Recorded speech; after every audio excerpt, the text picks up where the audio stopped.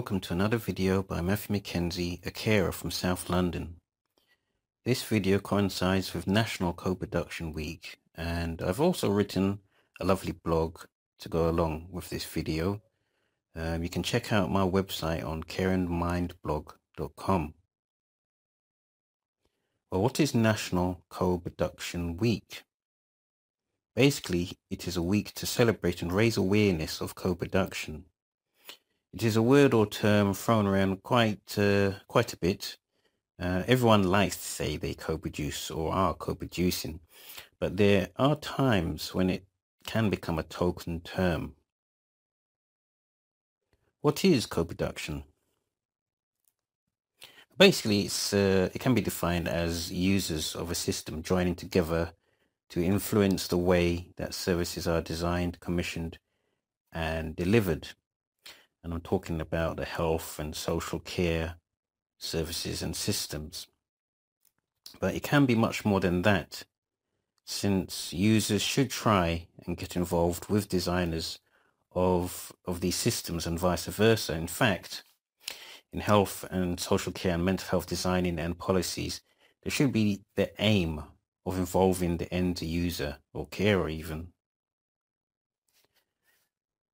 So let's make things more easier. Let's look at examples of co-production, or at least the basic examples. Um, this is not an exhaustive list, and it can be, well, there can be more added to it. So, for instance, let's start with bad terms of co-production. I'll give you at least 10 terms that I can think of. I probably could think of about uh, 30, I suppose. But number one would be um, producing health systems without public or service user input. Number two would be not even advertising um, Pacific workshops, health workshop, commissioning workshops, not advertising the engagement. So basically, too few people turn up and perhaps the commissioners will take those people's words as gospel and ending up designing the systems from those workshops. Although it's not as bad as number three, which is not even engaging with the public at all, which is an example, they're not involving the public, the end user, the carer, and just going ahead and designing the systems and then probably coming out saying there wasn't enough time to consult with anyone. Number four is creating stigma with health and social care systems.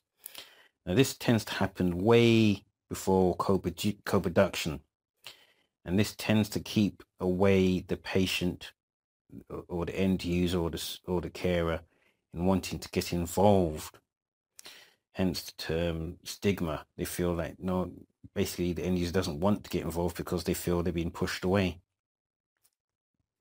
Number five is um, bullying end users with jargon and expertise. And this is quite common um, if you're unlucky enough to experience this, if you've gone along to a co-production workshop, um, particularly if it's at a very high level and those at that workshop or at that meeting will use specific uh, clinical jargon to make the patient or end user feel left out so they can't contribute and thus you get the fear that it's not worth attending these meetings.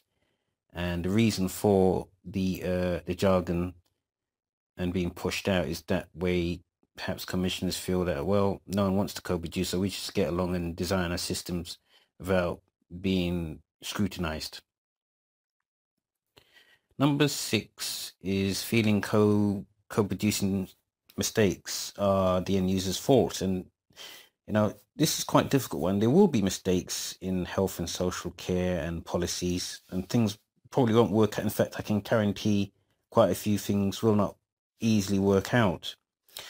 But if the health professionals or the commissioners, health commissioners, public bodies, large organizations constantly blame the end user, even though the organization uh, designed the product, that means they're hiding um, behind the end user and that can't be a good thing.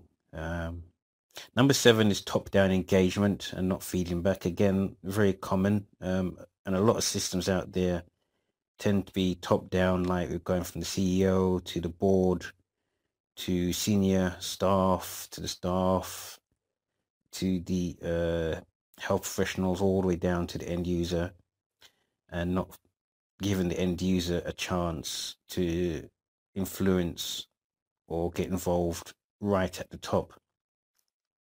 So let's look at it this way. The, the board cannot see what you call the wood from the trees and they're making decisions that are affecting uh, the community. Number eight is uh, using power to persuade others. Um, again, very common. Um, and we'll probably need a huge amount of changes. In fact, it's, it's almost um, in society as um, as as it's always been for a very long time. We just put our trust in uh, in power. In fact, I don't know if you've heard of um, Michel Foucault. He uh, he wrote and talked a lot about the uses of power in organizations, in, in society, and, and how it can um, control others. And I'm afraid uh, this is the situation that can um, attack co-producing results. It's, it's all about power and control in order to keep the, the systems running to serve the few. Uh, using fear to hide systems. Um, not, I don't think it's too common, but it is, it is and has been done. Um, a, a way it's, it's control. If anyone wants to co-produce, there's a sort of bullying culture to say, you know, you, you know, we know better. We've been educated this way. If you try to co-produce with us, there'll be mistakes. There'll be prices to pay. You're not wanted here. Um, there'll be intimidation and thus your average your, your average Joe, your average uh, end user, patient carer, will, will just not want to, will, just not want to be bothered. And then lastly, but but not fully lastly, but this is I'm keeping this up to number ten to try and keep the, the video short. You get the wall of silence, where basically these organizations um, should have uh, a service user group but that's not there. They should have a, a family and carers forum, but that's not there. They should have a patient forum, but that's not there. There should be co-producing forums, co-producing networks, but none of them are there. There should be an engagement lead at, at the NHS Trust or at the CCG um, body, but that's not there. So, and if anyone does ask, no one seems to answer. And that should raise some sort of suspicions as to why these groups are not there. And this, again, it's, it's something to do with culture. Why are there so many um, senior health professionals not feeding into networks? In fact, we could even go so far as to why they're not um, going out there and creating, along with the patient and the carer, to produce um, networks in these areas. And and to be honest, you know, there's, there's reasons behind it. And, I, and I'll let you um, have a think to yourself why these reasons occur. So I've given you um, at least 10 examples. I'm sure there's 50 or 100 uh, uh, bad, you know, bad terms for co-production. But let's look at some really good examples of what co-production should be or could be.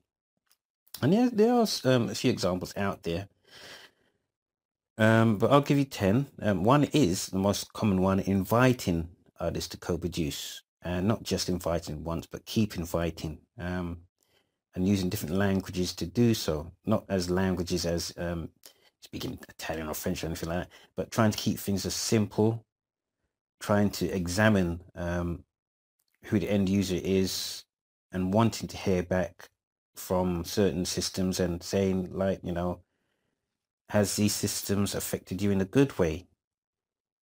How do they invite the end user? How do they invite the patient? How do they invite the family member to come along and co-produce? Number two is raising awareness of co-production. It shouldn't have to go down to the co-producer. It shouldn't have to go down to the to the unpaid care or to the, the patient who's very unwell to keep raising examples. It should really come from those who has the the resources to do so. To say, look, we are looking to co-produce. We are um, finding new ways of co-production. We support those who want to co-produce. Things like that. Just raising the awareness. It's not the only way, but it's, it's, it's one of the good ways. Number three is forming and supporting co-production networks. Again, what I mentioned before is if certain um, large health organizations don't seem to have these specific forums, meetings um, where patient and carers are involved, um, something's not right. And it can go even further is as if someone like an engagement lead should literally go out and see who you know, what, who are the important organizations out there? How do we set up groups? How do they all network together? Number four is owning up to mistakes. Um, all right, some people think this isn't even co-production, but in, in, some forms it, it is. It depends who you're owning up to. Let's say you produced um, a particular policy, doesn't work. You own up and say, can you co-produce with us? And maybe it still doesn't work, but you want to own up with them it's not an easy thing to do. We're all human. We all don't want to admit we've done something wrong because there'll be repercussions. But the NHS as a whole needs to be transparent. It bangs on the drum about transparency, and the, and one of the ways it can do that is to own up that it's a, there's a mistake.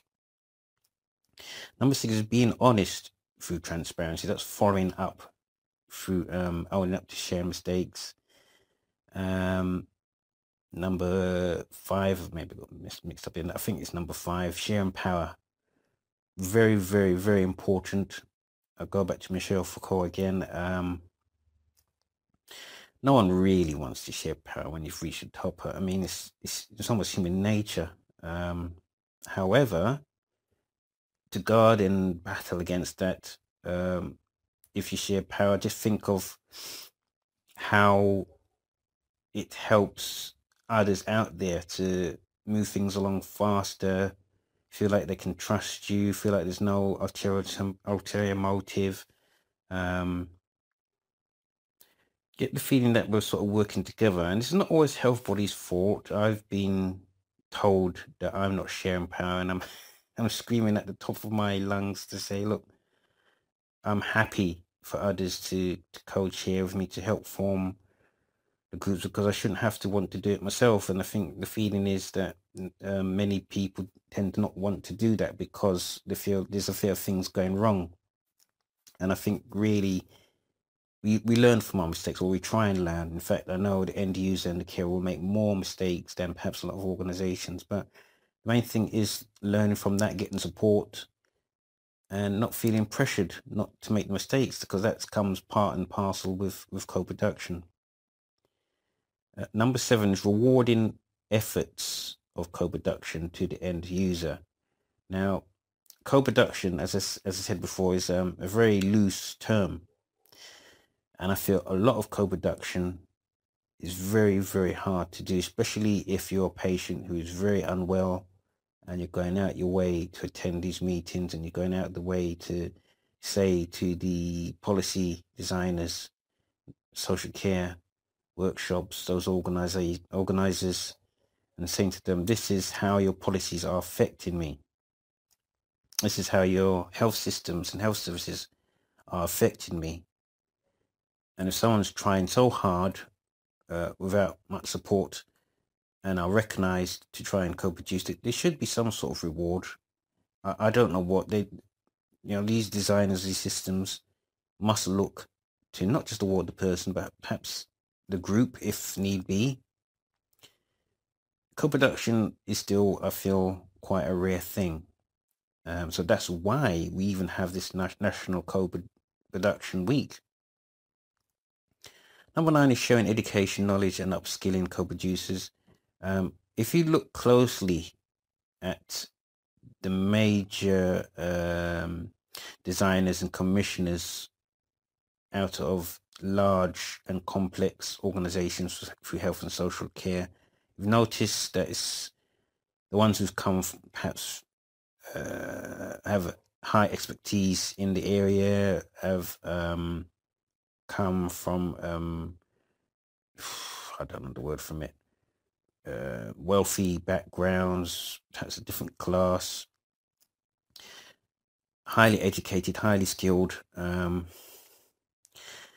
and the end users perhaps are those who are unfortunate enough not to share in their expertise. There should be examples um, where there's educating co-producers to perhaps eventually, and I'm not saying this this is always the, the path to um, getting involved, but eventually become those who can also help make decisions and be employed to do so, I suppose.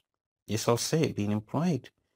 Too often we see um, the board being, and I, know I'll say it, white, male, dom- dominating um, people. Um, and perhaps the culture again needs to look at does it truly represent the community or area that they're designing for?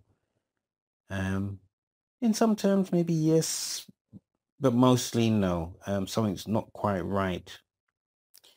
Perhaps another video for another day. Another one, lastly, number 10 is keeping contact. Um, very hard to do, especially with the NHS and, and social care system under immense pressure.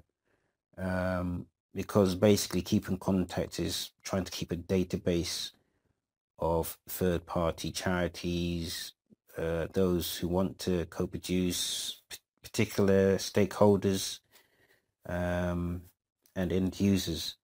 And people move on and go about their separate ways and perhaps lose interest.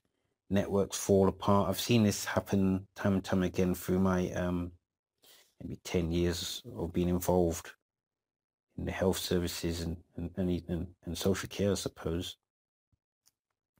But anyway, I, I hope you've learned some ideas of what co-production can be. Uh, if you're a patient, service user, or unpaid care like myself, see what is happening in your area for National Co-Production Week, and good luck in doing so. Co-production, I don't think is easy as people make it out to be. Um, it's still new, new territory as far as I'm concerned. But I thank you for watching and don't forget to check out my website and subscribe if you can.